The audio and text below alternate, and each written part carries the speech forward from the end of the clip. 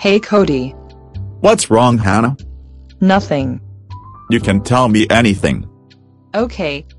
Well, there's been a lot of news recently on women oppression worldwide. Okay, well, I think I have an idea. What? There is this organization called the Half the Sky Movement. Really? What's it for? Women oppression. They have a great PowerPoint on it. Oh, I'd love to watch it. Okay,